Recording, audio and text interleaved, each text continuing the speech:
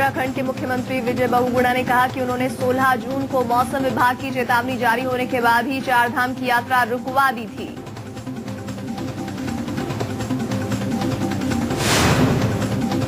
उत्तराखंड के मुख्यमंत्री के मुताबिक उन्होंने सैलाब से पहले ही चारधाम की यात्रा रुकवा दी थी, लेकिन अब तक किसी भी श्रद्धालु या यात्री ने इस तरह की कोई जानकारी नहीं दी है कि उन्हें चारधाम की यात्रा पर जाने के लिए प्रशासन ने मना किया।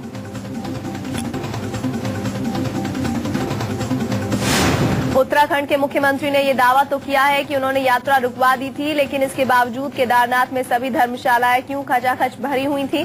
केदारनाथ मंदिर के परिसर में क्यों श्रद्धालुओं की भीड़ जमा थी? क्या अफसरों ने अपने ही मुख्यमंत्री का आदेश नहीं माना?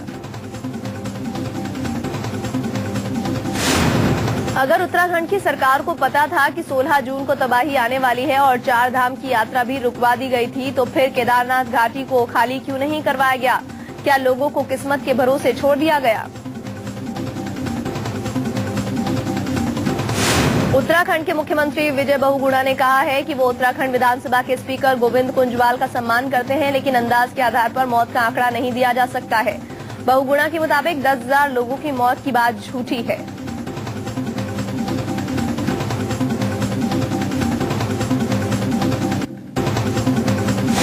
उत्तराखंड की भयानक बारिश को आपदा में बदलने से रोका जा सकता था। मौसम विभाग ने उत्तराखंड सरकार को कई बार चेतावनी भेजी थी कि यात्रा को स्थगित कर दिया जाए क्योंकि भारी बारिश होने वाली है, लेकिन सरकारी अधिकारियों ने इस चेतावनी पर ध्यान नहीं दिया।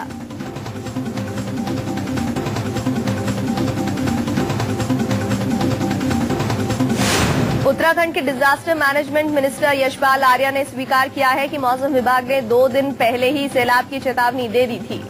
संपर्क कर चुका था कनेक्टिविटी थी नहीं। देखिए, दो दिन पहले कोई जानकारी मिलती है और सरकार सचेत होती है। लेकिन क्या जो सड़कें बिल्कुल ध्वस्त हो चुकी हैं, संपर्क कर चुका था कनेक्टिविटी थी नहीं। उस हालात में सरकार ने जो कर सकती थी, वो disaster management minister Yashpal Arya भी मान रहे हैं कि मौसम विभाग ने दो दिन पहले ही सैलाब की चेतावनी देकर कहा था कि चारधाम यात्रा करने वाले सावधानी बरते, लेकिन चेतावनी के बाद उत्तराखंड सरकार ने ज़रूरी कदम क्यों नहीं उठाए? 28 जून को उत्तराखंड मौसम विभाग के डायरेक्टर आनंद शर्मा ने अपने बयान में कहा था कि 15 जून को इस सैलाब की चेतावनी दे दी गई थी। मौसम विभाग ने सरकार को भी इस बारे में जानकारी दे दी थी। अंग्रेज़ी अखबार टाइम्स ऑफ़ इंडिया की खबर के मुताबिक 14, 15 और 16 जून को राज्य के अलग अलग अधिकारियों को मौसम विभाग ने कहा था कि चारधाम यात्रा को टाल दिया जाना चाहिए और लोगों को सुरक्षित स्थानों पर भेजा जाना चाहिए क्योंकि बहुत बारिश हो सकती है।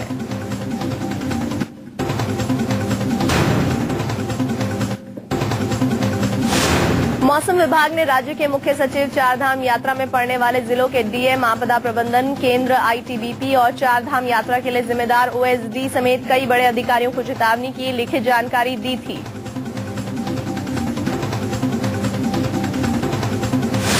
मौसम विभाग की चेतावनी को दिल्ली में बैठे उनके अपने अधिकारियों ने ही गंभीरता से नहीं लिया। मौसम विभाग को केंद्र सरकार को भी अलर्ट करना चाहिए था। हालाँकि मौसम विभाग ने आपदा प्रबंधन केंद्र को चेतावनी की जानकारी ज़रूर दी थी। मौसम विभाग ने 15 जून यानी भयानक बारिश से पूरा एक दिन पहले ही अपने अगले बहत्तर घंटे में भारी बारिश की चेतावनी और आईटीबीपी और रुद्रप्रयाग के डीएम को दे दी गई थी ये जानकारी। इस चेतावनी में साफ़ कहा गया था कि यात्रियों को सुरक्षित जगहों पर जाने को कहा जाए। मौसम विभाग के अधिकारियों ने जब ये देखा कि उनकी चेतावनी को अधिकारी गंभीरता से नहीं ले रहे हैं तो 16 जून की सुबह दोबारा एक एडवाइजरी जारी की गई, जिसमें कहा गया था कि यात्री सुरक्षित स्थानों पर जाएँ। अगले 36 घंटे में भारी बारिश हो सकती है। उत्तराखंड मौसम विभाग के निदेशक आनंद कुमार शर्मा ने बताया कि जब चेतावनी में बहुत बारिश लिखा गया तो मतलब ये रूटीन एडवाइजरी नहीं है। ऐसा बहुत कम मौकों पर किया जाता था।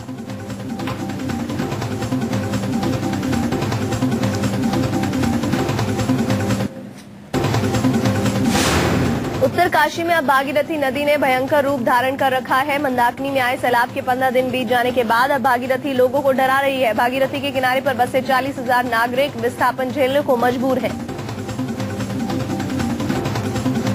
उत्तराखंड के लिए अगले बहत्तर घंटे काफ़ी महत्वपूर्ण है क्योंकि इस दौरान मानसून की बारिश, भागीरथी का जलस्तर और बढ़ा सकती है, जिससे उत्तराखंड के लोगों की मुसीबतें बढ़ सकती हैं।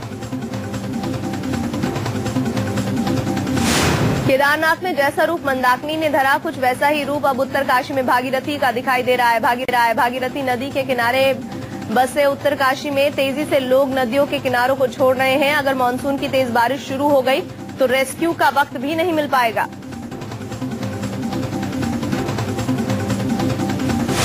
टीरी बाँध से पहले पाँच किलोमीटर तक भागीरथी ने भयंकर रूप धारण कर रखा है। अगर तेज बारिश हो गई तो पाँच किलोमीटर तक भागीरथी कुछ भी नहीं छोड़ने वाली है। भागीरथी में अरबों की संपत्ति बह सकती है।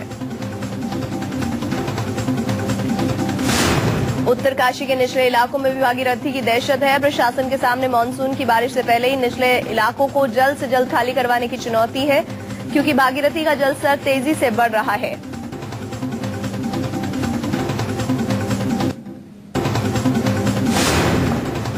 16 जून को सुबह पाँच बजे केदार घाटी में रेस्क्यू करने के लिए गए उत्तराखंड पुलिस के सब इंस्पेक्टर हेमेंद्र सिंह रावत ने सैलाब की खौफनाक कहानी बयां की है। हेमेंद्र सिंह रावत ने बताया है कि जब वो पाँच कांस्टेबल के साथ मौके पर पहुँचे, तब केदार घाटी का नज़ारा बेहद ही डरावना था। कई खच्चर मालिक मंदाकिनी नदी में आई बाढ़ में फंसे मदद की गुहार लगा रहे थे।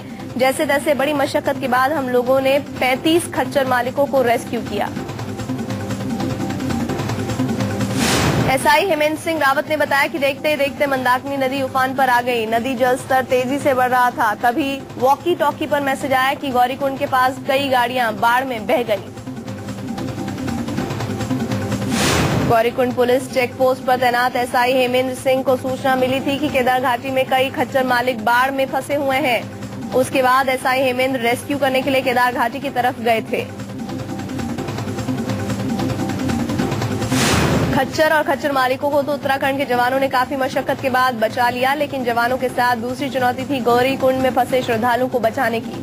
हेमंत सिंह रावत ने ये पूरी खौफनाक कहानी बयां की है।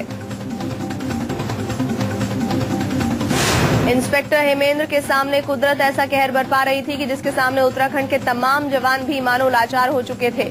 16 तारीख की दोपहर को इंस्पेक्टर हेमेंद्र को सूचना मिली कि केदारनाथ और बद्रीनाथ को जोड़ने वाले तमाम पुल तहस नहस हो चुके हैं।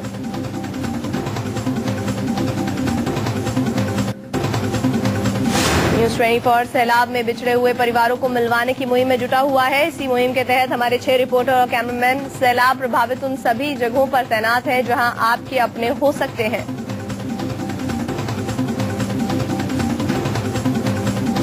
जोशीमठ से हमारे संवाददाता कुमार कुंदन और कैमरामैन प्रकाश बिष्ट ने रेस्क्यू कर लाए गए लोगों की तस्वीरें कैमरे में कैद की। आप भी इन तस्वीरों में ध्यान से देख सकते हैं कि इन तस्वीरों में आपका कोई रिश्तेदार तो नहीं है।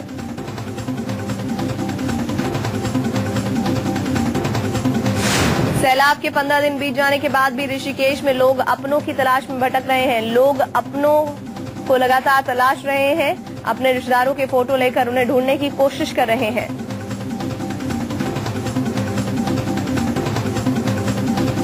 गौरीकुंड हादसे में शहीद हुए आईटीबीपी के इंस्पेक्टर भीम सिंह का पूरे राज्य के सम्मान के साथ अंतिम संस्कार किया गया। कठुआ में उनके पुश्तैनी गाँव में हज़ारों लोगों ने शहीद को श्रद्धांजलि दी।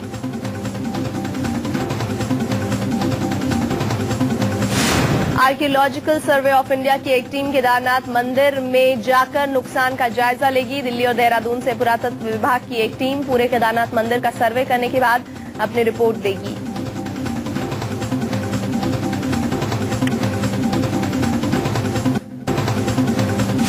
सैलाब के बाद मारे गए लोगों को श्रद्धांजलि देने के लिए गंगा नदी में दीपदान कार्यक्रम का आयोजन किया गया। बीजेपी उपाध्यक्ष उमा भारती समेत हज़ारों लोगों ने इस कार्यक्रम में श्रद्धांजलि अर्पित की।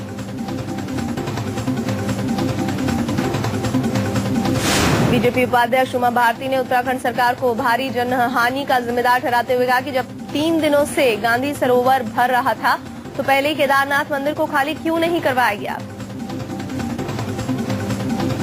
उत्तराखंड में सैलाब में मारे गए लोगों की आत्मिक शांति के लिए पूरे देश में हवन पूजा चल रही है। ऋषिकेश में बीजेपी सांसद सिद्धू की पत्नी नवजोत सिंह सिद्धू और स्वामी चिदानंद सरस्वती की मौजूदगी में हवन पूजा का कार्यक्रम संपन्न हुआ।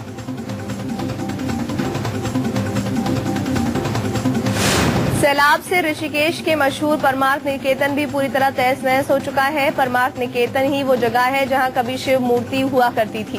ये मूर्ति पहले ही गंगा में समा चुकी है।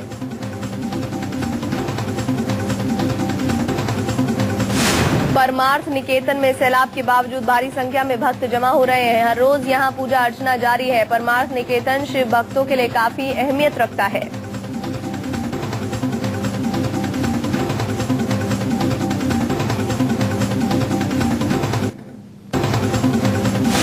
दिल्ली एयरपोर्ट मेट्रो लाइन का संचालन एक जुलाई से डीएमआरसी करेगी। रिलायंस इंफ्रा ने इसके संचालन के साथ हाथ खींच लिए हैं। डीएमआरसी के मुताबिक रिलायंस इंफ्रा घाटे का हवाला देते हुए संचालन करने से मना कर